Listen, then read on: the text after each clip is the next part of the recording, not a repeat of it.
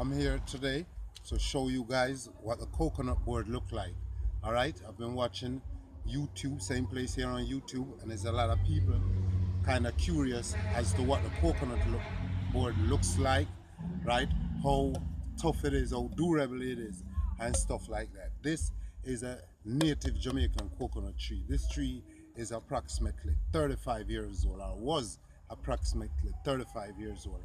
And this particular piece of wood was cut over a year ago. All right, coconut wood are really, really tough wood. It's one of the toughest wood you can find.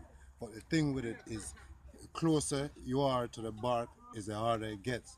The further you get away from the bark, the lighter the grains get, and the weaker the wood gets. If you could look right here, you could see these as a demonstration, right? That's closer to the bark, right? So you see how, how much grains you have right here. And as you come further towards the center of the tree, you can see those lines starting to get further from each other, right? So in the parts of the wood where the lines are closer to each other, you would obviously have a stronger portion of the wood or a stronger section of the wood than where the lines are further apart, right? So um, you basically won't get anything wider than probably six inches out of the tree because of these circumstances because it's round so you cut off a piece right?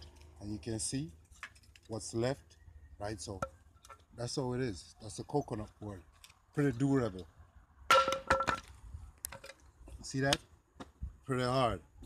And like I said before this is over one year old. This is absolutely bone dry right here right?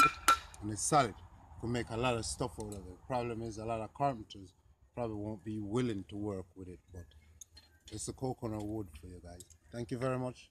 Please like subscribe to my channel for more of this. Thank you